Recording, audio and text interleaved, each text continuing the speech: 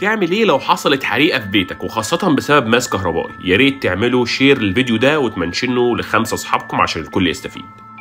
أول حاجة حاول تطفي الكهرباء بالكامل في البيت أو على الأقل عن الجهاز اللي معمول بسببه الماس الكهربائي. اتنين إياك ثم إياك ثم إياك تحاول تطفي الحريق بمية لأن ممكن تكهرب الناس اللي في البيت لأن الكهرباء بتكون شغالة وطفي الحريق بيكون بإلقاء بطانية على الحريق أو بطفايه الحريق المعروفة. لو تعذر عليك إطفاء الحريق اخرج بره البيت أنت وكل أهلك وما تنساش تقفل البيت وراك عشان الحريق يبقى محدود ومركز في مكان معين وبالتالي يسهل مهمه رجال الأطفاء إن هم يطفوه وما يتنقلش الحريق لشقق تانية أو أماكن تانية.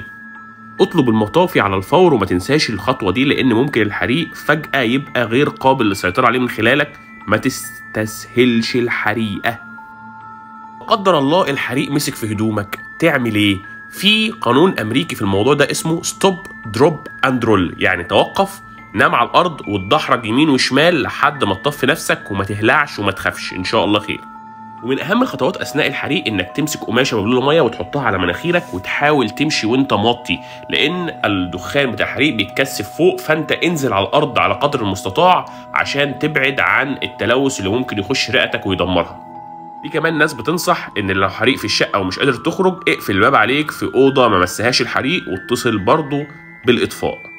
ما تهتمش لو أنت نزلت كل اللي عندك في البيت إنك ترجع تجيب حاجات قيمة عندك في الشقة لأنك ممكن ما ترجعش تاني لأن الحريق في لحظة ممكن يكون غير قابل للسيطرة.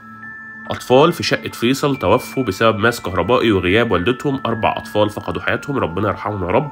وهعمل لكم فيديو تاني مهم جدا لو عاوزين عن إزاي تتعامل مع تسرب سخان الغاز أو الغاز اللي موجود في سخان الغاز.